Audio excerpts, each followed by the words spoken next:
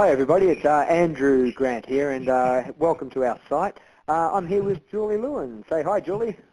Hi Andrew. Hi everyone. um, so Julie, we just got off the phone and we've had a, a great talk uh, for our, our Internet Secrets uh, members this week and we talked about the seven common mistakes people make uh, when putting their sales letters together and, and can you tell us why, how we come about that subject today and why, why we were talking about it? Yeah, absolutely.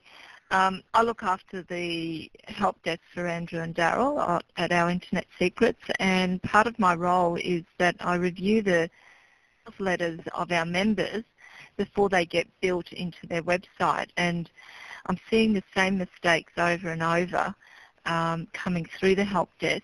So Andrew and I decided that we'd um, share with everyone what those mistakes are and help them write their sales letter really awesomely in the first instance. Sure. So um, now, for those of you who might not know, Julie also has her own business where she is a copywriter on the side, and uh, and she's uh, been you know, being paid the right copy for people for for a while now, and uh, so she's really an expert in her own right.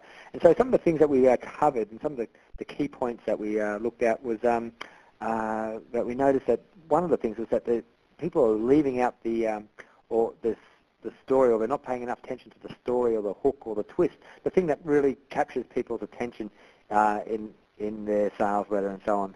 Now, we noticed um, that they're either missing it, it was too boring, or they hadn't really uh, placed it in the right part of their sales letter.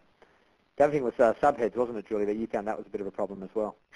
Yeah, they're either missing them out completely or they're not writing subheads and they're, they're headlines that appear throughout the letter that bring out a point about a, a chunk of paragraph.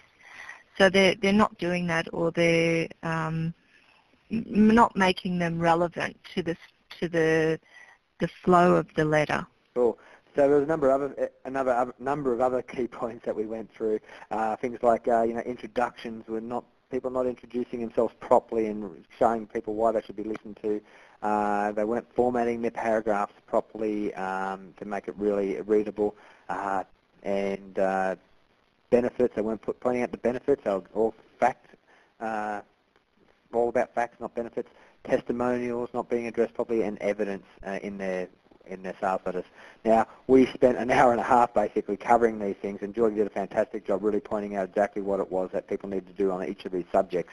Um, and we had some fantastic feedback from the people on the on the call as well who thought it was great.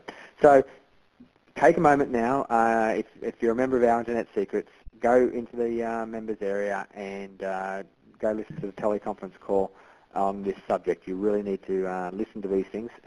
These are gold. These are basically the things that make your sales letter work um, and makes, therefore makes your site work and really the things that make people take action to buy your product. So listen to what the call was now, and um, uh, we will uh, uh, hear, or you'll hear us on the call uh, on on the site now. So go there now. So thanks, Julie. Appreciate the uh, the effort in helping us out. Thanks, Andrew. Bye. Bye.